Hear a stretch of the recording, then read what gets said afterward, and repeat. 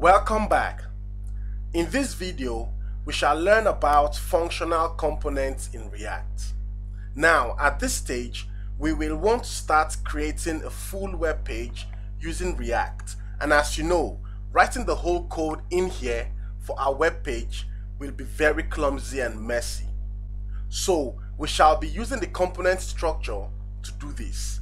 And the way to create a component using functions is like so. Okay. First, you come here and let's say I want to create a component for the header section of my web application. All I'm going to do is this. Let's take this out. Let's let's get rid of this. And let's say header. Now, this is how to write a component in React. You ensure it starts with an uppercase letter and ensure there is a space here before the forward slash. So after this, I'll have to create a file with the name of my component I just wrote here.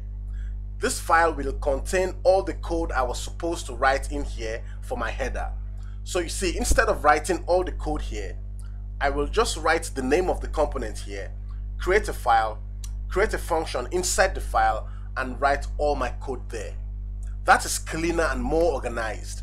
So let's create the file header.jsx.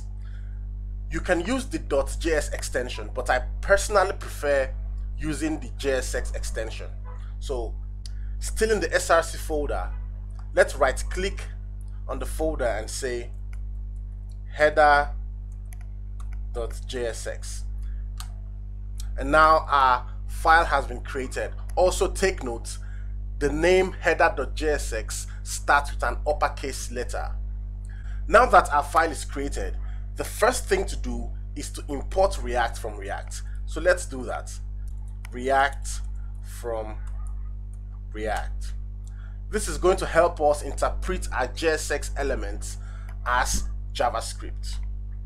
So after this, let us export our components that we have not created yet though, so that the index.js file can import it.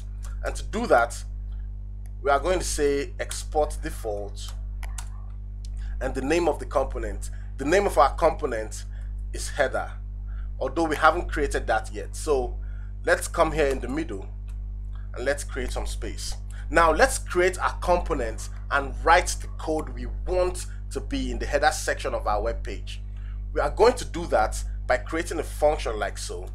Function and the name of our component, which is header, and just like that. Now, inside our function, we are going to return our JSX element. So let's just pass in something for now and say div, and let's put in the p tag that says this is our header component. Let's save that. Now let me explain this. Header is used as the name of the file, which is header.jsx. Also note that header is used as the name of the component. It's a personal preference. I like the name of the file to be the name of the component.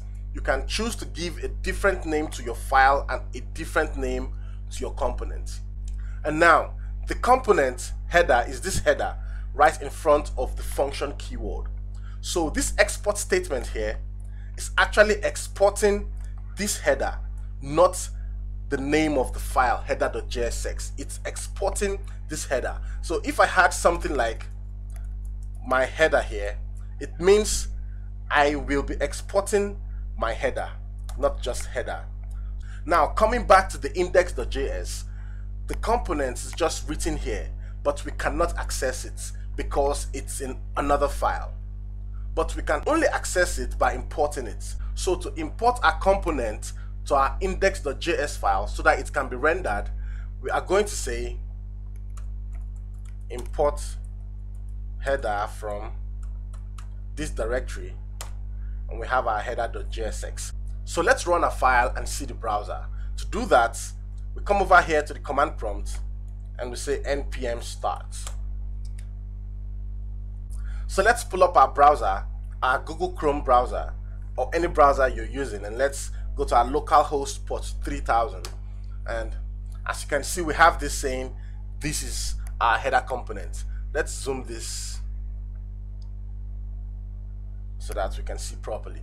This is our header component. So if I wanted to create a real header I'll just come here and create a nav section and do all the stuff I used to do in regular HTML so that's it. For now this is how to create functional components in React. Don't forget to like don't forget to subscribe and don't forget to share